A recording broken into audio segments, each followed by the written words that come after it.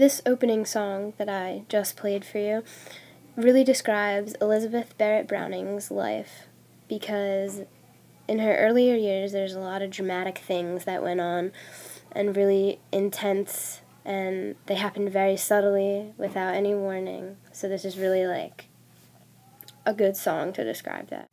But let's not jump ahead. Let's start at the beginning.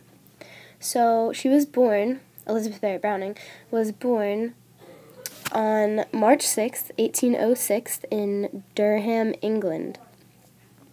She was the oldest of 11 children. She grew up into a very wealthy family, and her father's wealth came from slave plantations in Jamaica. And because of this, Elizabeth was very, very against slavery and oppression.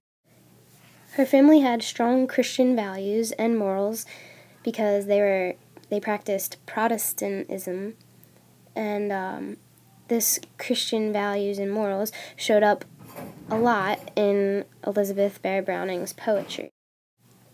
As a child, her father really encouraged her to read and to write, and um, because of this encouragement from her father, when she was 14 years old, she wrote her first epic poem, The Battle of Marathon, which her father had secretly published, and he also printed many copies for himself and his family because he was so proud of her.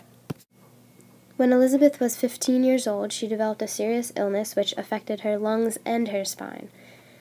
Little did she know that this illness she would have to deal with for the rest of her life. She had taken opium, which had also later, you'll learn that it affected her poetry when Elizabeth was 22 years old, her mother died. And this loss, surprisingly, was not very tragic, I should say, to the Barrett family because no one was really that close to their mother except for Mr. Barrett, but he was really the only one who severely suffered from this loss. When Elizabeth was 29 years old, her family moved to London However, there her illness became worse, and it was possibly due to the London weather, considering it is always raining there. No one really knows why. It's a pretty depressing place to be, so her illness became worse. And um, this also created anxiety in her, which also contributed to the kind of poet she became. She had to calm herself down with a sort of meditation, and um, that gave her a lot of time to reflect and think and that also contributed to her poetry. Because of her worsening condition, Elizabeth decided to go to Torquay, which was by the sea, because she thought the sea air would do her well.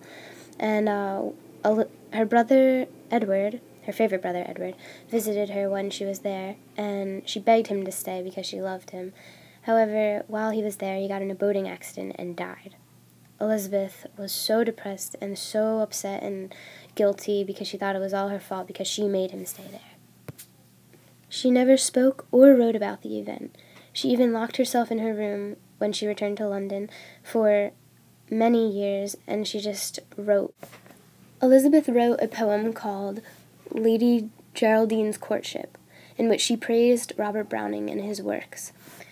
A few years later, Robert wrote her a letter thanking her for her generosity and her kind words that she said about him they started writing back and forth, and eventually they met and they started dating. And eventually they got married. However, this marriage was very difficult because Elizabeth's father very strongly disagreed. And so they basically had to secretly get married. And after they got married, they moved to Italy while she was in Italy, her health seemed to be getting much better, and she regained a lot of strength and energy. And um, she continued to write, and her fame continued to grow, and people widely respected her poetry. And fortunately, in 1849, she regained enough of her strength to be able to have a child. It was a boy, and his name was Robert Wiedeman Browning, also known as Pen. Elizabeth stayed in Italy and was very involved in politics and religion and everything that was going on around her until her death in June of 1861.